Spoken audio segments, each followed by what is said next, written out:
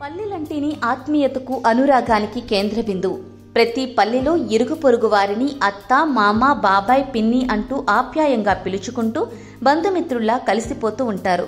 ఏదైనా చిన్న చిన్న సంఘటనలు చోటు చేసుకుంటే మాత్రం పోలీస్ స్టేషన్ మెట్లు ఎక్కేవారు ఉంటారు. ఇక అన్నదమ్ముల మధ్య వివాదం చెలరేగినా కోర్టుకు వెళ్ళేవారు చాలా మందే ఉంటారు. కానీ ఆ గ్రామం ఏర్పడిన నాటి నుంచి పోలీస్ స్టేషన్ మెట్లు ఎక్కిందే లేదట. వారిపై ఇంతవరకు ఒక్క కేసు కూడా నమోదు కాలేదట. న్యాయస్థానాన్ని ఆశ్రయించిన దాఖలాలు కూడా లేవట. ఇంతకు ఆ గ్రామం ఎక్కడ ఉంది? ఆ గ్రామంలో కట్టుబాట్లు ఏంటో ఈ స్టోరీలో చూసేద్దాం. ఇంతవరకు పోలీస్ స్టేషన్ ఎక్కిన వాళ్ళం కాదు. కేసులు అవి ఇవి అని మా కాలనీకి ఏది వచ్చింది లేదు. కానీ అట్ట ఎవరైనా బయట వాళ్ళు వచ్చి అడిగినా మాకు మేమంతా మాట మీద కట్టుగా ఉండి మా ఊర్లో ఏ కేసులు లేదు ఏ అసలు పోలీసులు అంటేనే భయపడిపోతారు మా ఊర్లో. ఆవిడ దూరాన్ని పూడుస్తారు ఈరోజు పోలీసులు వస్తున్నారంటే అడవిలో పోయి కూర్చో ఉంటారు ఏ తగ్గొస్తారు అట్లా ఉంటారు మా ఊర్లో వాళ్ళు. అంత భయం పోలీసులు అంటేనే కానీ ఇంకెవరైనా వచ్చి అడిగితే గానీ దాంకునేస్తారు గడ ఇండల్లో. ఏది మాట్లాడలేరు. అలాంటి వాళ్ళకి ఇంక కేసు స్టేషన్ దాకా ఆడబోతారు మా ఊళ్ళో. భయంతో.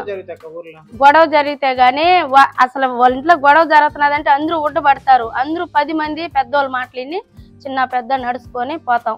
అట్ట మాకు మించిపోతే ఊర్లో రైతులు నడుకొచ్చి పెట్టుకొని మాట్లాడుకుంటాం.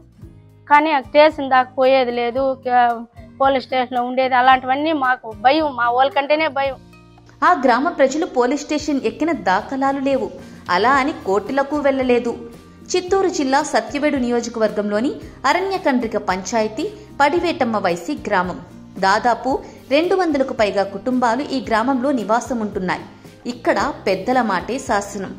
అలా అని గ్రామ బహిష్కరణ అనే వ్యాఖ్యానికి తావు ఉండదు.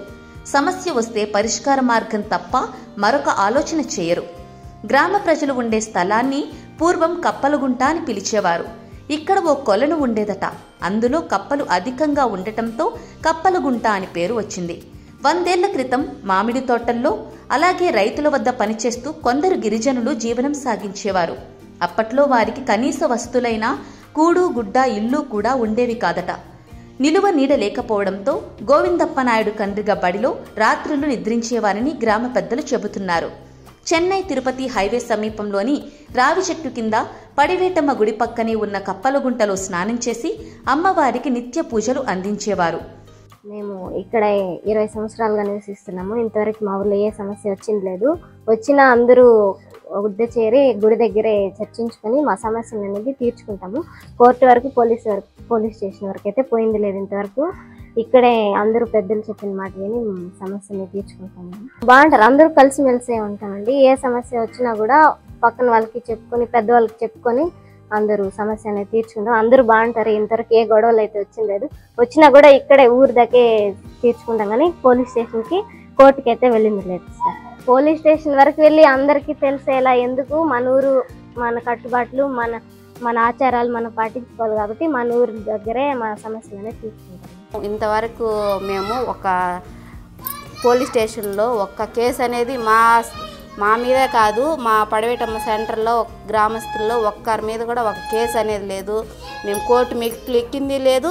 కనీసం పోలీస్ స్టేషన్కి వెళ్ళిన వాళ్ళు కూడా కాదు. వాళ్ళు కూడా ఇంతవరకు పోలీసులు కూడా పలానా సెంటర్లో ఏదో జరిగింది అని ఇంతవరకు పోలీసులు కూడా మా గ్రామంలోకి అడుగు పెట్టింది కూడా లేదు.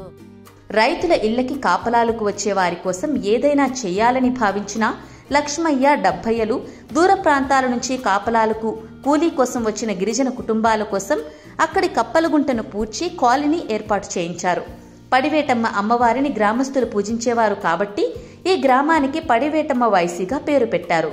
ఆ కాలం నుంచి రోజూ పనికి వెళ్ళే ముందు అమ్మవారిని దర్శించుకుంటే శుభప్రదంగా ఉంటుందన్న నమ్మకం వీరిలో ఇప్పటికీ ఉంది. అందుకే చెట్టు కింద ఉన్న పడివేటమ్మకు దాతల సహకారంతో ఆలయం నిర్మించారు. అమ్మవారిని నమ్మే ఈ ప్రజలు అనేక గ్రామాలకు ఆదర్శంగా నిలుస్తున్నారు. ఈ కాలంలో చిన్న చిన్న గొడవలకే స్టేషన్ వద్దకు వెళ్ళి నానాయాగి చేస్తూ ఉంటారు కొందరు. కానీ ఈనాటికి ఒక్కటంటే ఒక్క కేసు కూడా నమోదు కాకపోవడం వారి మధ్య ఉన్న అన్యోన్య జీవితాలకు నిదర్శనంగా చెప్పవచ్చు. ఒకవేళ ఏదైనా గొడవ వచ్చిందంటే పడివేటమ్మ ఆలయం వద్దకు గ్రామస్తులంతా చేరుకుంటారు. ఆ సమస్యలు పరిష్కారం కాకుంటే వారికి వెన్నుదండుగా ఉండే పక్క ఊరి రైతుల వద్ద పంచాయతీ పెడుతూ ఉంటారు. అంతే తప్ప పోలీస్ స్టేషన్కు వెళ్ళిన దాఖలాలే లేవు.